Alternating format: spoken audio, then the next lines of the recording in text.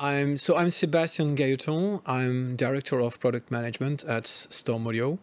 Um, I have basically have a role who's transverse in the company uh, in between the R&D and, and the marketing. So defining the products, making sure that whatever we, we, we design and we develop for our customers really meet the demand.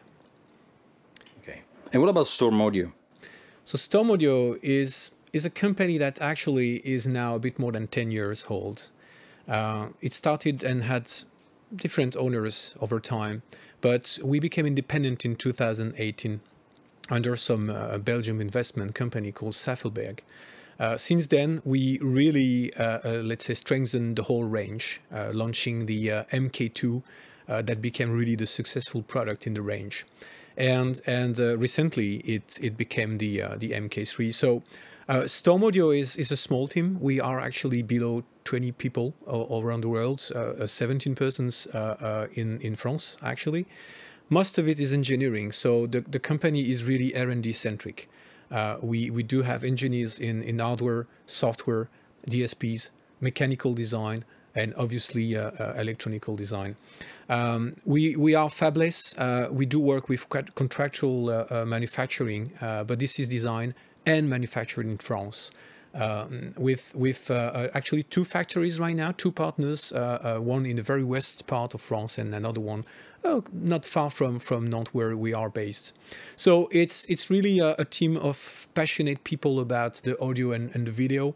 The good thing with the home cinema is that it, it's really a mix of of the video and and the audio, and and and we build products really at Storm Audio that here's here to to make sure that you get the emotions of uh, watching a movie. So right now our main main focus is really the home cinema but we we want to build a company as really an actor of the residential space so a, a bit broader than just the home cinema. But home cinema is really the essence of of what storm audio is today. Yesterday evening during a fabulous uh, dinner you told me that you measure every single product before shipping yes correct we and we measure with okay real top high end stuff like the precision. That that's that's nice for yeah, and and the the the main reason for that is that we we build products. We are in the high end space. You know, uh, when you buy a Storm Audio, this is an investment. So we want to make sure that uh, whatever product is in the field, we have this pedigree. I mean, we we can know uh, uh for each of them we have the, the complete set of measurements. So if you buy a processor that has 32 channels output, we have measured all of them. We, we know that they, they pass the whole quality control to make sure that the performance will be up to what we expect at Storm Audio. So this is really key. So it's key for many reasons. It makes sure that we get the quality at the end of the production, but also if there is like any complaint or whatever, we can verify if that actually uh, uh, can be true or not, or, or uh, you know, monitor what what happens in the field. So that's really important. So we use audio precision uh, uh, at, at our labs, uh, which are a very precise equipment, but also at each factory, uh, we have a complete uh, bench test that, that helps measure everything. We, uh, that, that's really key to, to make sure that the product quality is maintained with any product that goes out of the line.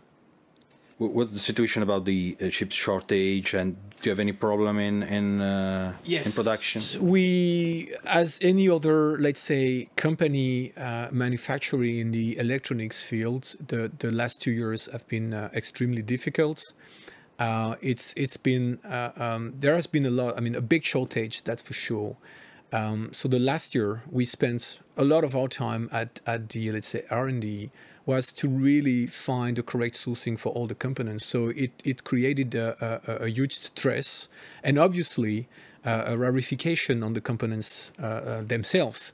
Uh, the, the, the, let's say what we got in the end is that uh, uh, components were difficult to find, became more expensive, and and overall this adds a, a, main consequence was really on the lead time of the product so we we had to uh, to delay some of the production just like for a single component and that's really uh, turns us to become crazy but the thing is, this is the same problem for everybody. So all brands have faced uh, this uh, shortage. Now it's becoming better. The main difference, I would say, is that you have to plan really, really much in advance. uh, when when we were planning to you know prepare production in the past the, the longest was like 20 weeks to get components. Now you can go beyond a year in some components. You need to order like 54 weeks before you get the components. And and that's what you need to manage. So it's a different way uh, uh, to produce but obviously this has an impact also on the whole development process of the products last year, the last two years, we had to redesign some of the boards just because some components were impossible to find. So that's that takes a lot of the resource and all that. So that that at some point is is an issue also to you know keep moving in the innovation and all that. But now I would say, hopefully, we believe that this is over. Although with the war and all that, it's it's still a bit slow uh, to to ramp up again. But overall, we we see the light at the end of the tunnel. So let's talk about the your products inside this uh, wonderful room and audio quality in Bologna.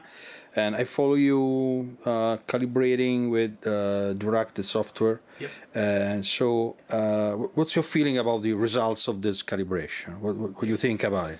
Well, I think before we, we, we, we speak about the calibration, I think the, the most important aspect is, is that, you know, calibration is like the cherry on the cake the, the, calibration can only happen if, if, if you have a system that has been properly installed, the room has been properly designed, and, and already already measured as a room itself, like making sure that you know the decay time and all that is well controlled. I would say if, if you don't have that first, it's very difficult to say you want to start calibration. So this room, on that aspect, is really good. It, it sounds good already from the start. Then the speakers that are now used in the room, this this the complete wisdom audio range is just amazing. I mean, this it is it is really uh, a precise speakers, very detailed, and extremely fast. That that really helps to to bring the the dynamic of whatever content you have on on, on home cinema soundtracks, and and that is really key because our processor they are designed uh, to to really reproduce in in a fidel way uh, the soundtrack. And only when you have the good room and the good speakers that you can have the best capability. So when you have that to start with, it becomes really, uh, let's say, uh, not easy, but it, it helps make sure that when you start using your calibration tool, so in, in our case, we are trusting and using for, I mean, since the beginning actually at Storm Audio, we are using Dirac Live. And it is a very precise tool and it does work very well it, it took some time for Dirac to, to mature over time.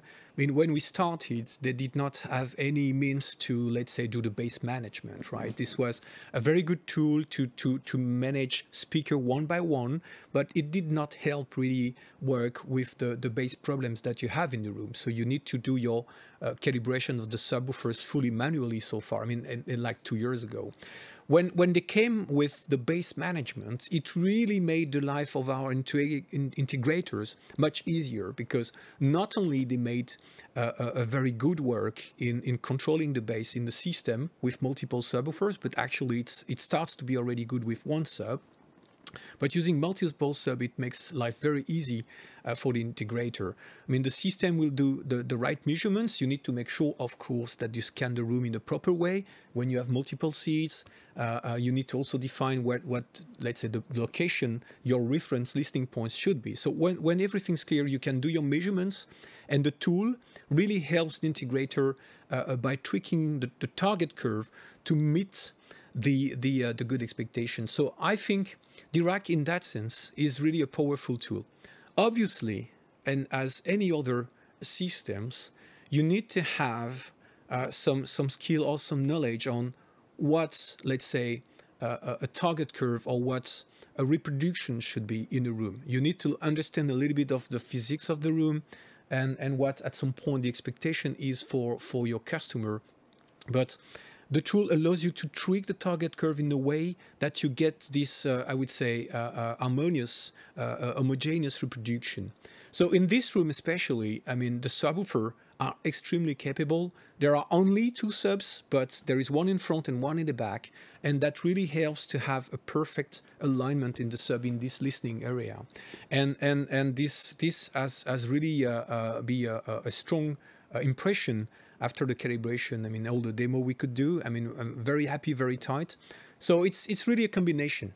And, and the Dirac Live tool in our implementation at Storm Audio, it, one of the things that is very critical is that you have the tool in one hand, but you also have the filters on the other hand.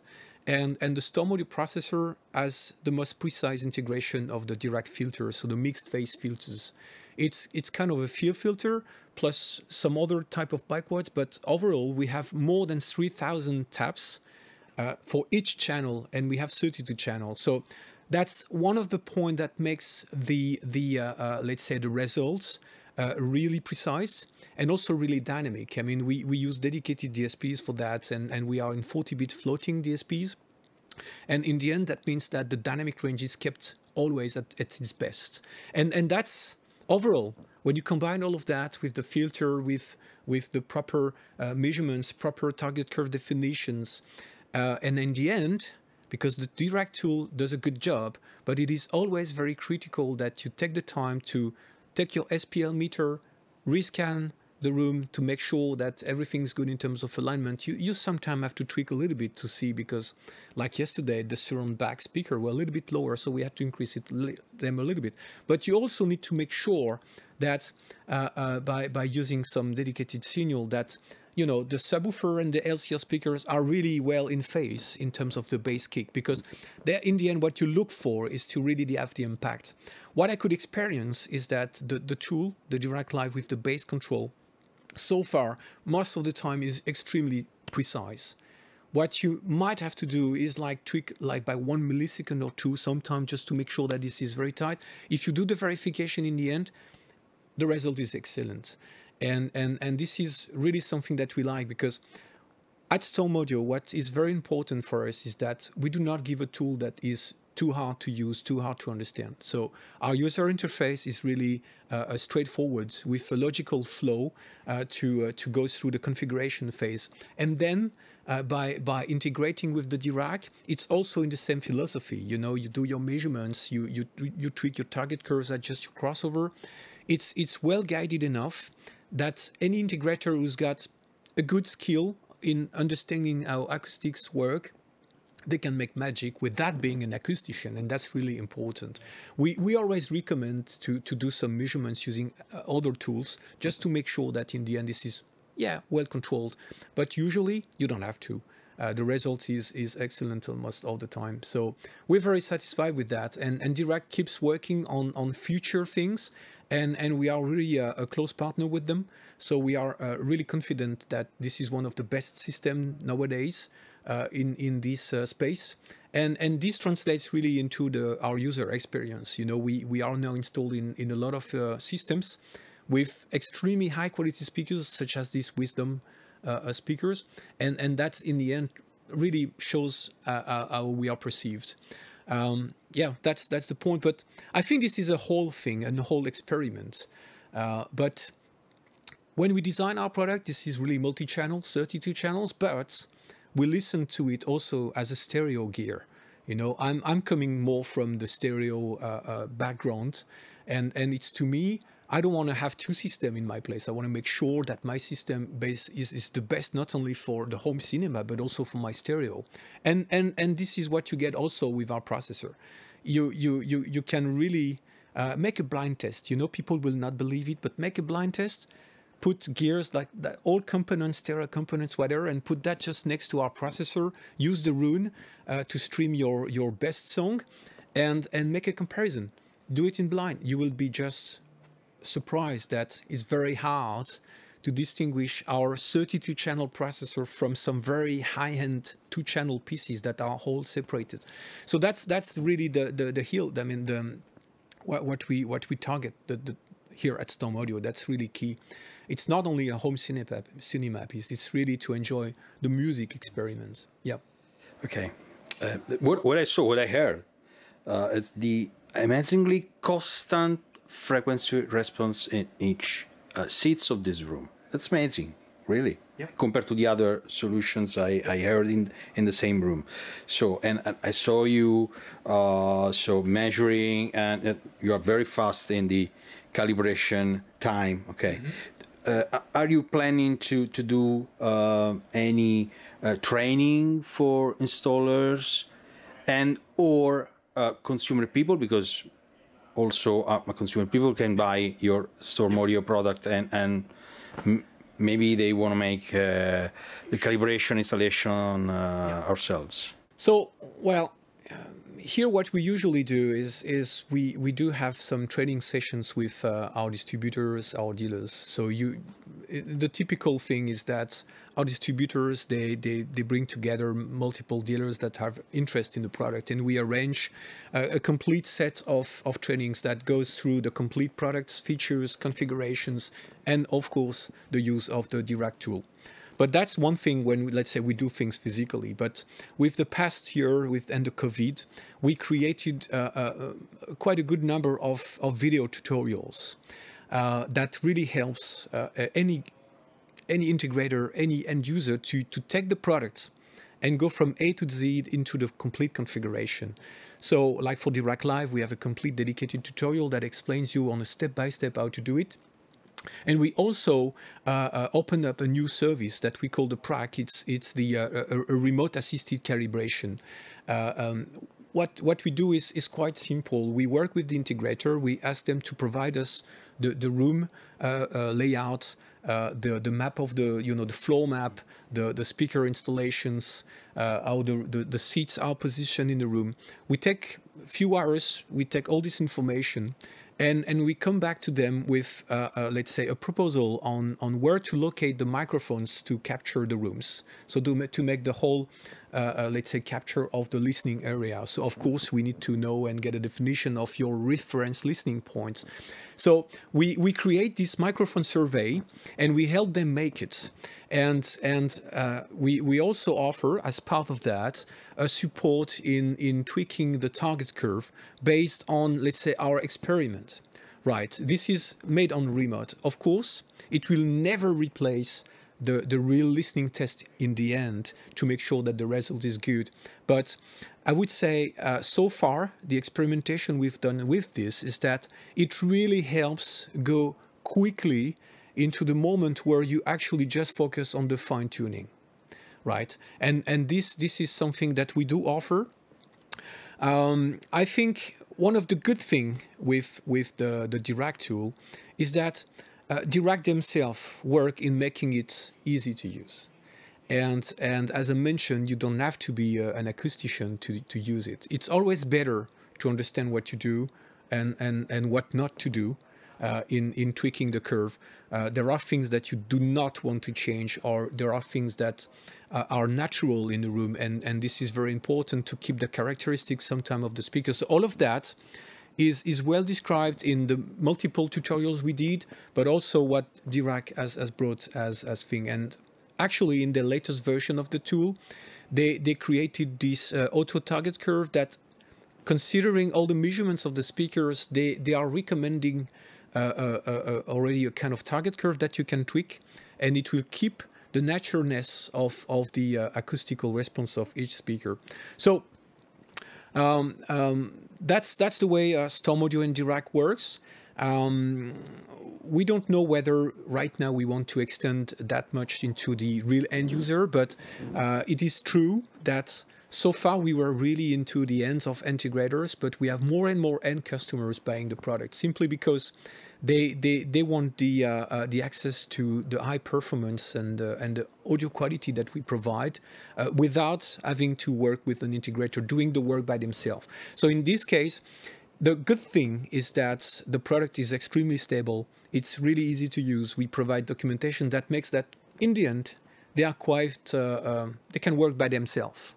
They don't need a lot of support to uh, to make this work, and the experience so far is good. Thank you for your time, for your interview. You're welcome. You know, uh, and and here we're very happy. Uh, this this room is is really uh, uh, really exceptional in in especially in the bass impacts. It's it's really uh, something that we we love. So yeah, thank you.